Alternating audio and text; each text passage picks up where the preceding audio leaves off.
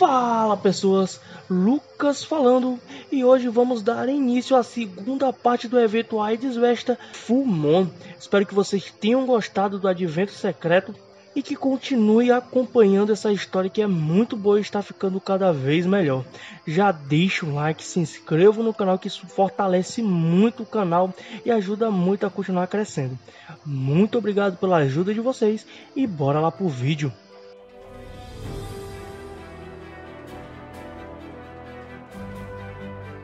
Continuei a pensar. Fiquei pensando se estava certo ou não. Não há resposta. Não deve haver uma resposta. Duvidar dela significa desrespeitá-la. Foi por isso que continuei a pensar. A lua continua me iluminando. Será que tenho vergonha do que me tornei? Como seria se você estivesse viva? E se você estivesse aqui comigo, e se você estivesse lá sorrindo para mim, o que teria acontecido se você não tivesse se despedido de mim? Eu ainda teria tido um sonho? Eu teria me tornado mais forte ou mais fraco? Eu teria me apaixonado por você? Eu me pergunto todos os dias. Pensar em coisas como essa não tem sentido. Você já não está mais aqui. Já não deveria estar aqui. E Artemis pergunta a Orion o que farão agora. Bel fica surpreso ao ver a deusa Artemis. Ela responde que é ela mesma, em carne e osso. Eu sou sua deusa da lua e você é o meu único Orion. Bel fala que isso não é possível. Eu levei você embora não consegui te proteger. Você não deveria estar aqui. Ela não deveria estar viva. Mas por que?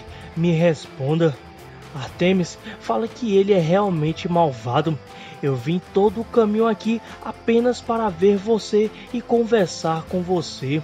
Ou eu deveria ter esperado 10 mil anos antes de vir te ver. Essa promessa de 10 mil anos é o nosso segredo de que ninguém mais sabe sobre isso. Bel fala que isso não é possível. É apenas a mi... é apenas a minha imaginação. Eu estou sonhando. Artemis responde a ele e diz que ele não está sonhando. Estamos nos vendo e conversando um com o outro. E podemos nos tocar também. Bel Artemis se aproxima dele para tocá-lo e Bel, preocupado, se afasta. Artemis pergunta o que está acontecendo com ele. Não me faça essa cara, Orion. Você está me deixando deprimida. Por favor, pare com isso. Não fales comigo na voz dela. Não sorria do jeito que ela costumava. Não me chames de Orion. De repente, tanto Bel quanto Artemis ficam surpresos ao ver que flamangos estão se aproximando. Bel fica furioso e pergunta por que eles estão aqui. Artemis fala que a chama deve estar saindo do controle e agora o que faremos? Bel pede que ela não fique aí parada, fique atrás de mim enquanto eu luto. Artemis fala que não, a sua fauna está selada, não se esqueça disso. Além disso, você está desarmado e sem equipamento, não pode lutar. Em seus pensamentos, Bel fala que ela tem razão. Não tenho nada agora. Eu nem sequer tenho a faca de Estia comigo. Mas, mesmo assim, mesmo que você seja apenas minha imaginação, mesmo que eu esteja apenas sonhando com você, prometi que te protegeria. E Bel começa a lutar com os monstros, mas infelizmente para ele, ele é abatido e ele cai. Mas ele se levanta. Tem razão, eu me sinto impotente, é porque a minha fauna está selada. Eles estão vindo de todas as direções. A essa taxa, vou quebrar a promessa mais uma vez e deixar ela morrer. Eu não vou deixar isso acontecer. Os flamangos começam a atacar, mas Bel usa uma estratégia fazendo com que ambos se atacassem. Artemis fica surpresa. Bel, isso foi brilhante de você, fazer com que eles ataquem um ao outro. Bel chama ela para saírem daqui. Pegue na minha mão. rápido. E Artemis assente. E eles começam a correr. Ainda estão vivos. Estão à nossa procura. Nós temos que correr agora. Artemis chama por Orion. Nós não corríamos assim antes, não é? E Bel pede que ela, por favor, não fale nada por enquanto. E Artemis assente. Ela tinha sua maneira de mexer com seu coração, mesmo em tempos como esse. Porque tinha que ser agora? Por quê? Porque você teve que aparecer agora? Os céus estão envoltos em cinzas e o solo é agitado. A chama contaminada traz o caos como ele se estendeu para o céu. Que horrível! Este deve ser o purgatório que todos nós tememos. Mas não há nada com que se preocupar agora, porque eu, Apolo, o Deus do céu, estou aqui. Ouvi dizer que meu Bel está em perigo então estou aqui para salvá-lo. Eu vou salvar Olímpia também, se isso for necessário.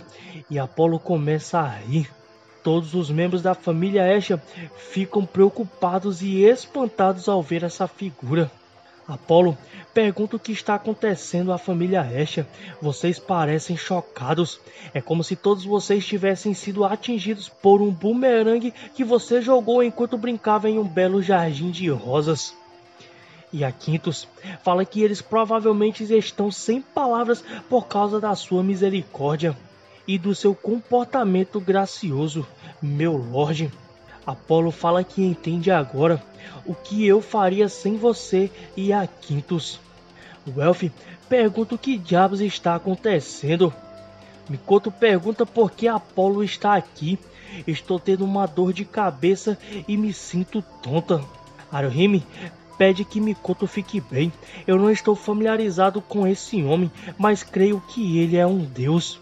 Lili assente e fala que ele é o deus perigoso, Senhor Apolo, que jogou um jogo de guerra irracional em Bel.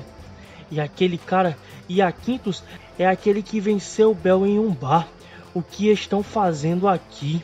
Apolo fala que está apaixonado e, portanto, está aqui. Eu viajaria para o outro lado do mundo e além do mundo para o meu véu. O elfo fala que não se importam com isso. Tudo o que queremos é que vocês respondam algumas perguntas. Apolo assente e fala que irá responder. E de qualquer maneira, você realmente não deveria se surpreender em me ver aqui. Eu vim porque a Olímpia parecia estar muito ferrada e quando cheguei aqui a chama contaminada estava saindo do controle. Lily pede que ele dê detalhes, por favor, a partir de como conseguiu aqui. Apolo pergunta se Ash está dentro do altar da chama. Lily fica surpresa e pergunta como ele sabe disso. E Apolo fala que tem várias divindades da chama, mas apenas algumas podem controlar a chama primordial, que no caso aquela tonta pode fazer. E o fato de vocês, filhos, estarem todos reunidos aqui explica tudo para mim.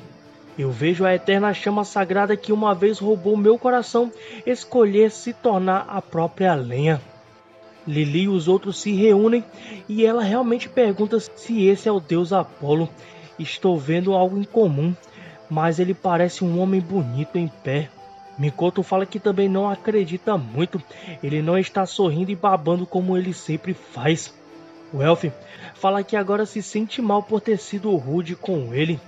Haruhime fala que todos estão sendo um pouco duros com ele. E a Quintus fala que consegue ouvir a todos e pergunta se eles querem que ele corte a cabeça deles. Apolo fala que deveria parar de ser emocional, não sou eu. Então, por favor, me respondam onde está o Bel. Mikoto fala que ele não está conosco. Apolo fica tenso. Está me dizendo que ele está lá fora sozinho. Ele deve estar tremendo de terror. Eu, o Deus do Sol, deveria encontrá-lo o mais rápido possível e dar-lhe um abraço. Eu vou te buscar, meu Bel. Lili, um pouco aliviada, fala que acabou de ver o habitual Lorde Apolo, como ele se fantasiou de um homem decente. E a Quintus pede que o deus Apolo espere. e Apolo pergunta o que é. E ele fala que esse peão tolo de chama está tentando manchar o seu raio brilhante. E de repente, flamanoides começam a atacar o grupo. Haruhime fica surpresa, é um monstro de chamas. Apolo fala que é uma faísca do fogo da chama primordial. Isso é um flamanoide? O altar de Vesta apareceu, mas as chamas ainda estão saindo. Isso significa que Olímpia estava em uma forma muito ruim. Lili se desculpa, mas por que vocês estão tão calmos? Eles estão desovando de todas as direções, estamos cercados. Apolo pergunta a ela por que não estaria calmo. Meus filhos adoráveis estão aqui comigo. E a Quinto, lisos, cuidem disso. E a Quinto e Lissos afirmam e vão à luta. Eles começam a atacar os flamanoides. Nosso sol pode não ser sombreado por chamas fracas e imundas. Morram. Mikoto fica surpresa. Que ataque poderoso! Ele apagou todas aquelas chamas por conta própria. O Lili fala que ele é muito mais forte do que era quando lutamos contra ele no jogo de guerra. Seu level deve estar diferente agora. Lissos fala que se não vão ajudar, fiquem fora. Arrumem outra maneira de ajudar. Aruhime começa a preparar a sua magia. Cresça esse poder e esse navio, o Shiri no Kozuchi. Mas só que nada sai e ela esquece que não pode lançar magia. O Elf fica tenso e eu não sou tão rápido quanto costumava ser. Raios, eu acho que eu realmente não posso fazer nada. Galerinha, essa foi a primeira parte do Fumon. Eu espero que vocês tenham gostado. Tá bem engraçado com essa chegada do Apollo na história. Me digam nos comentários o que vocês estão achando. E lógico, se puderem compartilhe esse vídeo, se inscrevam, ative as notificações para quando lançarmos vídeo aqui no canal vocês não perderem nada. E eu vou ficando por aqui. Valeu!